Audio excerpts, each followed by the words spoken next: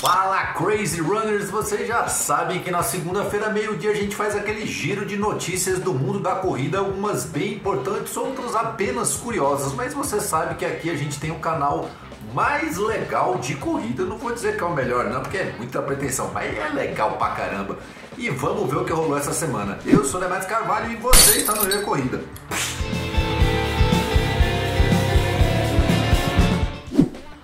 Gente começa falando do leão de Uganda, Joshua Cheptegei. Ele que é o atual recordista mundial dos 5 mil e 10 mil. E para você ter uma ideia do quão é difícil você ser recordista em duas distâncias diferentes, apenas 10 atletas no mundo têm essa proeza. Pois é, Joshua Cheptegei, que bateu ambos os recordes em Valência, na Espanha, anuncia sua estreia na Espanha na Maratona de Valência 3 de dezembro. E ó, a Maratona de Valência foi a estreia do Kipton, que está aí na cola do Kipchoge no momento, e as três últimas maratonas foram abaixo de 2 horas e 4. O que, que vocês imaginam que Joshua Cheptegei vai fazer em Valência? Mas nem tudo são flores no mundo da corrida e o keniano Tito Zekiro, de 31 anos, agora pode pegar uma suspensão de 10 anos. Ele que tem sensacionais 2 horas 2 minutos e 57 segundos em maratona, foi pego novamente ou teve problemas com o exame antidoping. A primeira vez que ele caiu, ele conseguiu ali mostrar que ele estava fazendo um, um, tratamento que continha uma determinada fórmula, mas agora de novo reincidente, abriram a investigação do caso anterior e tá ficando feia a parada e pode pegar 10 anos de suspensão. E aí, com 31 anos, será que ele se aposenta? Queria saber o que, que você acha disso daí. E a atleta americana Shelby Hooligan, que continua atravessando ali o período de suspensão por doping, que na época ali no final de 2020 alegou que haveria sido um burrito mexicano que ela comeu que tinha carne de porco, que tinha nandrolona, não foi aceito o seu recurso e ela tá aí, continua mantendo esse período dos quatro anos. E aí ela resolveu correr a Beer Mile. World record holder and newly crowned champion of the Legends Elite Race, Shelby Roland. Para você que não conhece, 1.6 km, que é a milha, numa pista de atletismo, quatro voltas na pista. Em cada uma dessas voltas você tem que beber uma garrafinha de cerveja por volta de 340 ml e teor alcoólico 5. Você bebe, dá uma volta, bebe, dá uma volta, você dá quatro voltas. Mas, embora seja uma brincadeira, o pessoal falou que não sabia exatamente o que fazer porque ela está sofrendo uma suspensão, então ela não podia correr na equipe americana porque tem a competição por países também, mas que ela poderia competir pelo menos para brincar não deu outra, ela bateu o recorde mundial. Ela é a primeira mulher a correr uma milha cervejeira, digamos assim, abaixo dos 6 minutos. All right, we didn't have the photo away there, but there we are out on this. You're going to see some of the best chuggers in the world here. Look at that, right out, right out of the gate, the guy from Belgium right there. Ela fez 5:43 e 81. E o pessoal falou que vai estudar para saber nesses casos se pode conter esses atletas ou não toda forma, o recorde mundial feminino foi quebrado. Elizabeth Lasseter de Austin, no Texas, fez 6 minutos e 3 segundos. E o corredor austríaco Rainer Predel, de 33 anos, fez a proeza de correr a 25 graus negativo dentro de um frigorífico em 782 voltas num percurso de 54 metros, uma maratona. Ele fez em 3 horas e 47 e falou que não conseguiu se hidratar muito não de tão gelado que era lá. Mas vamos combinar que esse cara aí é meio maluco, né? Ele fez 70 quilômetros em volta da mesa da casa dele no período da pandemia, quando ninguém saía de casa. Se tem um lugar que a galera gosta de fazer protesto é durante jogos, eventos esportivos por causa da visibilidade. tínhamos a Diamond League. Dá uma sacada aí, depois a gente fala.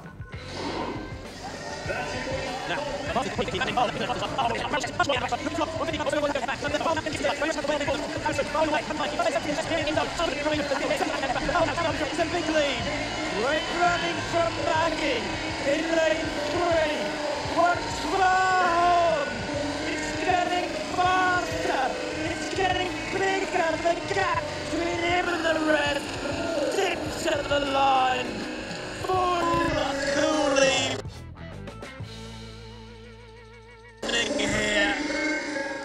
Pois é, uma prova tão curta quanto os 400 metros com barreira que dura um pouco mais de 40 segundos, teve manifestação. Caster Varhalm, que venceu a prova e nem foi atrapalhado porque vinha na raia de fora, reclamou pra caramba. E o Brasil lembra muito bem dessa história, né?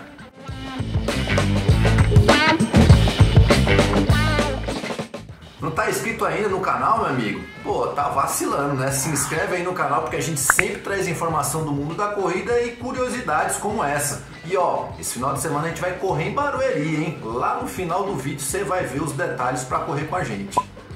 Aliás, por falar nisso, a gente correu esse final de semana no dia 9 de julho, na 9 de julho. Mas lá na Argentina teve 9K de la Independência. Belém Caceta, que é uma corredora argentina que já foi para duas Olimpíadas, foi lá e venceu a prova e parece que não tem nada demais, né? A questão, meus amigos, é que ela estava grávida e teve um bebê apenas sete semanas.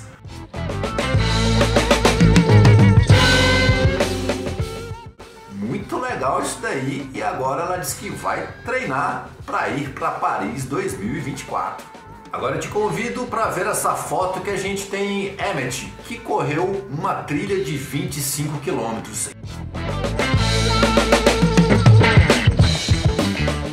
Embora ele tenha sido o último colocado, ele conseguiu terminar a prova e ficou muito feliz. Olhe de novo, porque você deve ter visto na verdade Jake Rishon, que é o seu pai de 38 anos. Emmett está ali atrás, com 6 anos, e completou essa trilha. Essa notícia coloca algumas pessoas com as orelhas de pé achando que eles passaram dos pontos e aí eu não vou questionar, você vai me dizer aí o que você acha ou não. Mas o garoto já é acostumado a correr 5 km. O pai dele diz que ele é muito elétrico, que é difícil segurar o menino em casa e que ele falou que ia para essa prova e o garoto demonstrou vontade de ir. Deu uma olhada no regulamento da prova e era bem longa a janela para terminar a prova. Ele fez as contas ali, é, dá para ir devagar, andando pra caramba e terminar. Entrou em contato com a direção da prova, a direção da prova permitiu.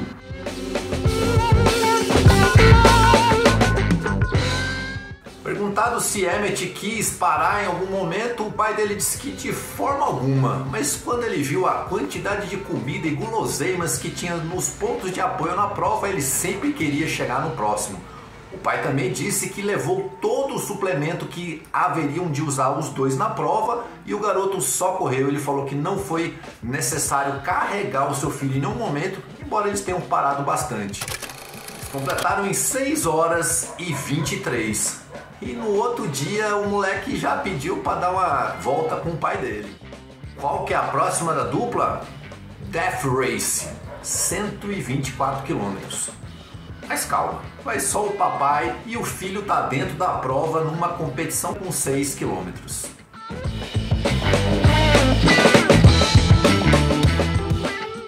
Gente está chegando na nossa última notícia e por incrível que pareça, quem vai determinar quando vai parar o recorde são os cachorros. E não estou enganando você não. Mas se liga aí que dia 13, Dia Mundial do Rock, a gente vai falar com o Betão Metal Runners, que é o mesmo cara do quilômetro 41 da Maratona de São Silvestre. Se você não entendeu nada é porque você não entendeu nada.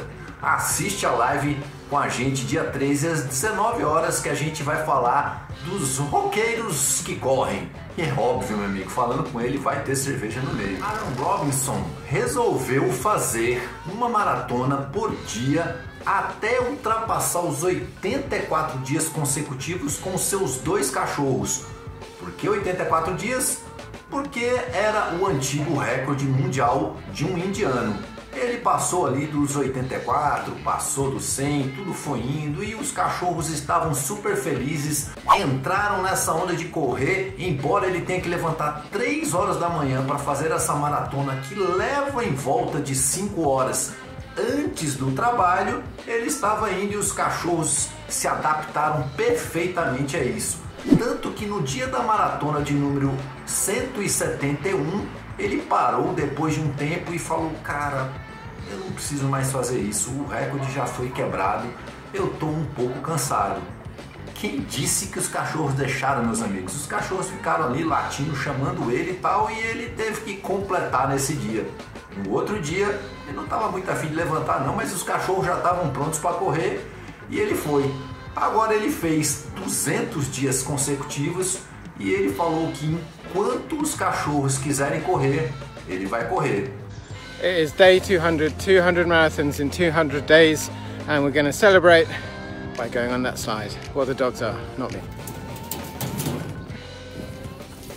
So we've just finished marathon 200. Here are a few clips from the journey so far.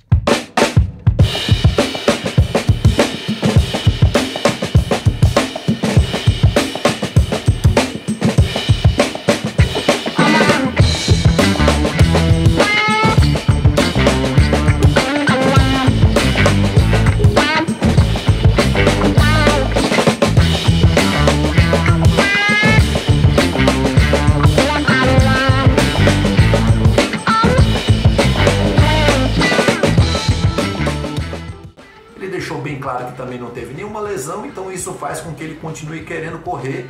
Caso haja uma lesão, talvez ele pare, se não, meus amigos. Quem vai determinar são os cachorros. Pois é, né? E que tal correr com a gente esse final de semana lá em Barueri? A gente que sempre está arriscando São Paulo aqui por locais diferentes. Algumas pessoas têm pedido, cobrado que a gente faça em outros locais e vai ser sempre mais difícil fazer em outras cidades. Tem todo um problema aí de logística mas quando der a gente vai fazer. Mas a gente vai fazer nesse final de semana em Barueri os nossos primeiros 10K fora da cidade de São Paulo. Se você estiver ali na região, Osasco, Jundiaí, sei lá, cola com a gente e a gente se vê no próximo vídeo live corrida ou treino. Hasta la vista, baby!